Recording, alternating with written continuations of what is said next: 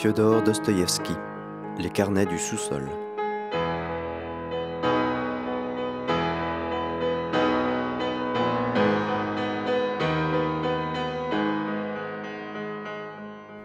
Partie 1, chapitre 9.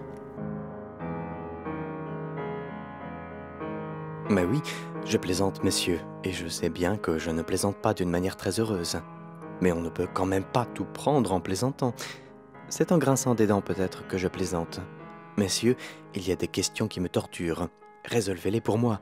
Vous, par exemple, vous voulez désapprendre aux hommes leurs vieilles habitudes et corriger leur volonté pour qu'elles correspondent aux exigences de la science et du bon sens.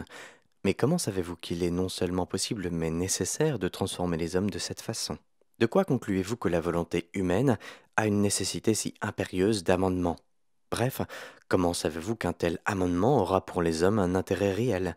Et, tant qu'à dire ce qu'on pense, pourquoi êtes-vous certainement assuré que le fait de ne pas se dresser contre les intérêts normaux et véritables, garantis par les conclusions de la science et de l'arithmétique, soit pour les hommes réellement toujours profitable, et forme une loi pour toute l'humanité?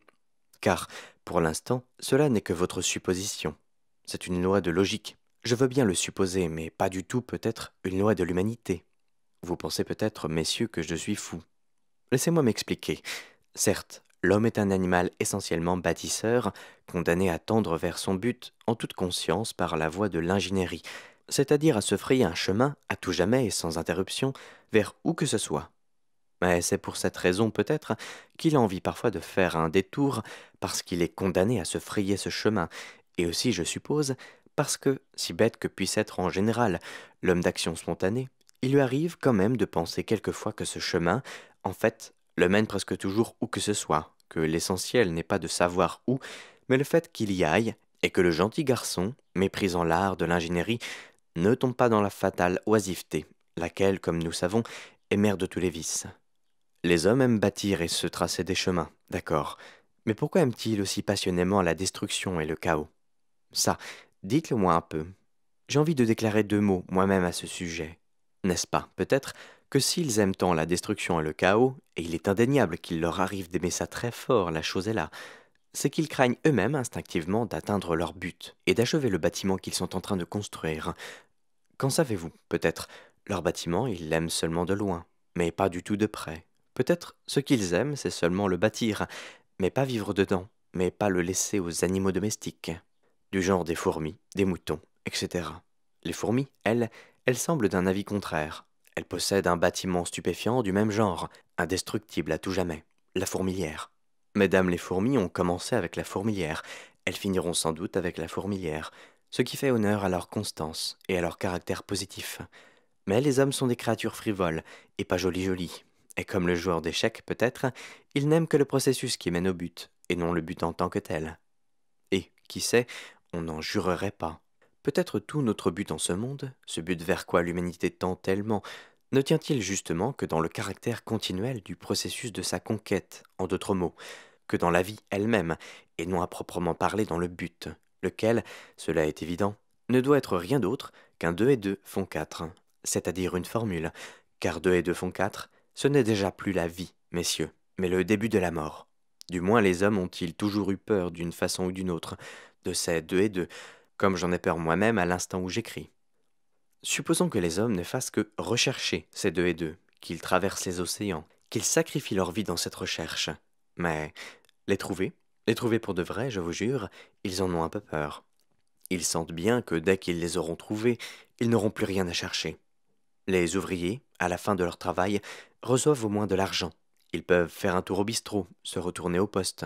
Et voilà une semaine bien remplie. Mais les hommes, où peuvent-ils aller? Au moins, chaque fois, remarque-t-on chez eux comme un malaise quand ils atteignent ce genre de but. Ils aiment l'action d'atteindre, mais le fait même, ils ne l'aiment pas du tout, ce qui, bien sûr, est terriblement drôle. Bref, les hommes sont conçus d'une façon comique. Il y a sans doute là comme une espèce de calembour. Mais deux et deux font quatre reste quand même résolument insupportable. Deux et deux font quatre, mais c'est, à mon avis, si je puis me permettre, un sarcasme pur et simple. Deux et deux se pavanent comme un coq, se dressent au milieu de votre route, les mains sur les hanches, et restent là à vous cracher dessus.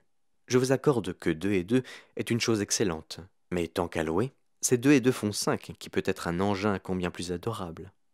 D'où vient que vous êtes si fermement, si triomphalement persuadé que seul le motif et le normal, bref en un mot le bien-être, sont dans les intérêts des hommes? Votre raison ne se trompe-t-elle pas dans ses conclusions? Si la souffrance les intéressait tout autant que le bien-être, les hommes l'aiment quelquefois, la souffrance, d'une façon terrible, passionnée, ça aussi c'est un fait. Ce n'est même plus la peine de se rapporter à l'histoire du monde, Posez-vous la question vous-même, si seulement vous êtes un homme, et si vous avez un tant soit peu vécu. Quant à mon opinion personnelle, aimer seulement le bien-être, ça me paraît presque indécent. Que ce soit bien ou mal, mais casser quelque chose, c'est parfois très plaisant. Car ce n'est pas la souffrance au fond que je défends ici, et pas non plus le bien-être. Ce que je défends, c'est mon caprice, le fait qu'il me soit garanti quand j'en ressentirai le besoin. Par exemple, la souffrance est admissible dans les vaudevilles, je le sais, dans le palais de cristal, elle est de plus impensable. La souffrance, c'est un doute, c'est une négation. Or, qu'est-ce qu'un palais de cristal où le doute est impossible? Mais je reste persuadé que l'homme ne refusera jamais la souffrance véritable, c'est-à-dire la destruction et le chaos. Car la souffrance est la seule cause de la conscience. Même si j'ai commencé par affirmer que la conscience était pour les hommes leur plus grand malheur, je sais qu'ils l'aiment et ne l'échangeraient contre aucune satisfaction. La conscience est infiniment supérieure à deux et deux. Parce que, après deux et deux, cela s'entend, il ne reste non seulement plus rien à faire, mais plus rien à connaître. Tout ce qu'il est possible de faire alors, c'est de se boucher les cinq sens et de se plonger dans la contemplation. Bien sûr, la conscience vous amène au même résultat, c'est-à-dire que là non plus il n'y a plus rien à faire, mais on peut toujours se flageller de temps à autre, et cela vous ravigote un peu quand même. C'est vieux jeu d'accord, mais c'est mieux que rien.